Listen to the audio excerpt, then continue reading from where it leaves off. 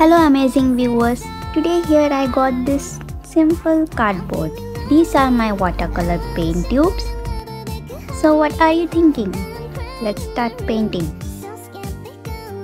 If you don't have watercolor painting, please use any type of acrylic paint.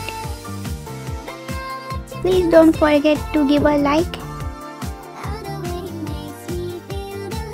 And look, it's finally done.